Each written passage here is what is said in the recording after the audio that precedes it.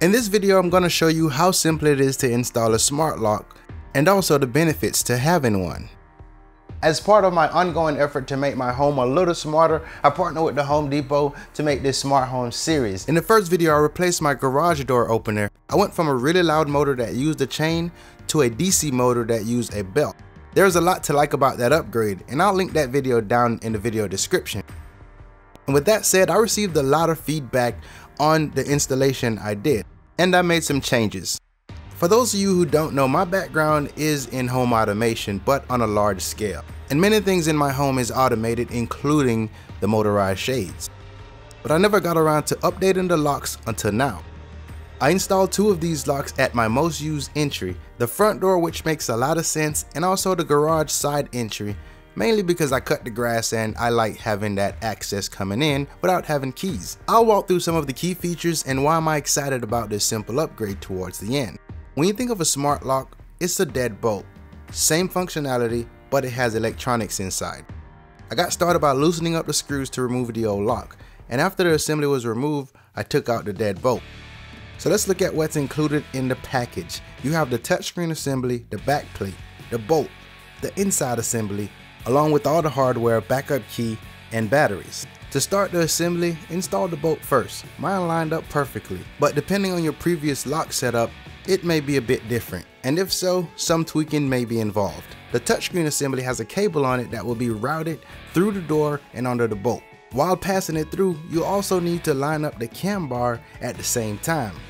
Now install the back plate while routing the wire harness through the square hole at the bottom of the plate. After tightening the back plate, get the inside assembly and connect the cable. And this can only go one way.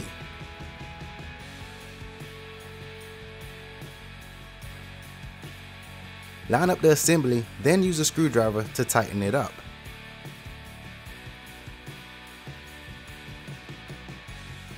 Now all you have to do is install the battery into the holder and make sure the batteries are facing the door.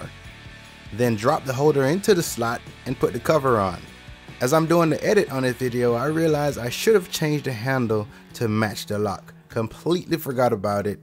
Good thing it's never too late. So let's take a look at the strike side of the door. The lock come with reinforcement screws and plate if you want to beef up security. I'm going to skip this step. I have cameras all around and I have the ring doorbell at the front door to notify me if someone step in this zone. Since I have a French door, the bolt and the strike lines up, so there's no need for me to change anything. Plus, this is a metal door and I don't have the ability to properly modify it. The next step is the fun part. Download the app and connect the lock to the Wi-Fi. Before covering the features on this lock, let me show you a really slick way to hide your spare key in the occasion the batteries die. You'll need a couple things, this PVC pipe, a prescription bottle, and a rock. This is going to go inside the planter box I made in the last video. The idea is to glue the rock to the prescription bottle cap. Regular hot glue and other adhesive may work just fine, but I'm going to use a construction grade hot glue stick. It says it's good enough for concrete, so I'm in. Cover the rock with masking tape and then spray paint on the PVC along with the bottle cap. And I went with black because that's the color of the weed barrier. Now clear out a spot for the PVC pipe. Push that down into the dirt and then surround it with rocks. And now that I figured out the best layout, just take your key, put it in a prescription bottle, put the top back on, drop it in the PVC, boom, there it is. Sadly, I cannot use this because I'm showing it on video, but there you go. Installation doesn't get much simpler and having a smart lock just bring a lot of convenience to your life. Now knowing that this is a smart device, I'm pretty sure the question may come up is can this device be hacked? And at the end of the day, if it's a network device, it's sit on your network and it's hooked up to the internet, then there's a possibility that any device can get hacked if you're given the time. But personally, I would not let the fear prevent me from enjoying the technology. There's a lot of great when it comes to having a smart lock, but let's not forget that there is still one huge problem and that it solely relies on the internet. So if that ever goes down, you lose complete connection to your smart lock. And even though you may lose status with the lock, it still works as a normal lock. So this can lock and unlock with the local code so everything will work locally. The fact that I don't have to carry a physical key is pretty important to me. It's one less thing that I have to worry about keeping up with. It's pretty hard to deny the benefit of the auto locking feature. I tend to have mine set to 30 seconds, so the minute the door closes, if there's no activity, the door automatically lock back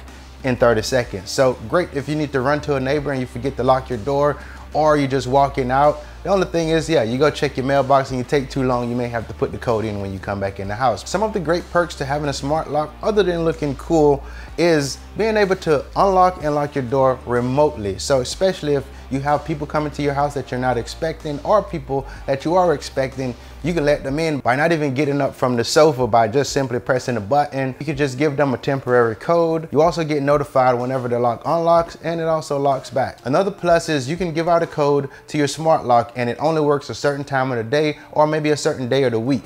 This way you don't have any unexpected guests. At this point in time, I haven't fully integrated yet with all my systems that I have going on at the house, but I'm really looking forward to that. And one of my favorite features with the lock is the integration with the ring. If somebody stepped into that motion zone at my front door, I instantly get a notification. I can have a conversation with them or I can make a decision, do I let them in or not? So as I said, I'm trying to make the house as smart as possible and adjust with the time so this become part of my daily routine. Super excited about this. And if you guys have any questions or anything, drop them down below. That's it for this one. Hope you enjoyed the video and I will catch you guys on the next one. Oh, and if you're new here, make sure you subscribe to the channel.